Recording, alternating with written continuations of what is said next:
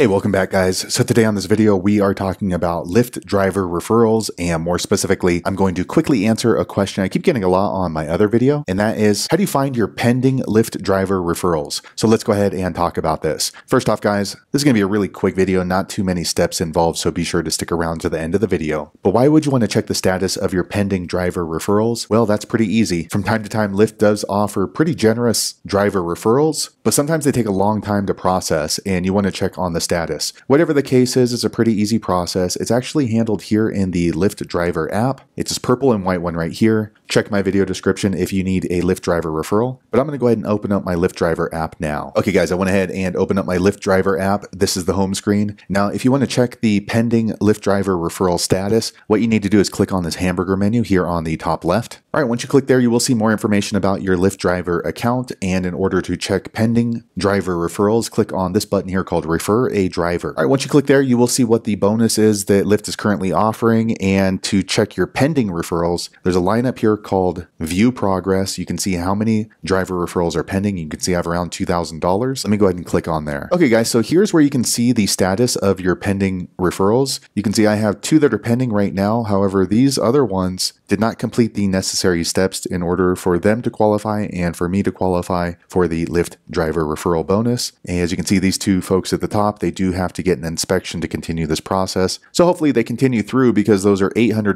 referrals a piece. And if you want to see any kind of completed driver referrals, you just scroll to the bottom. You can see these two folks have continued and completed their Lyft driver re referral requirements. So there you have it, guys. If you're looking for information on how to find your pending Lyft driver referrals, that's the easiest easiest way I know how to find it. If you know an easier way, be sure to leave a comment below. Let the rest of us know how you did it. Hopefully you found that video useful. If so, click thumbs up or maybe consider subscribing to my channel and I hope to see you on the next video. Thanks again for watching.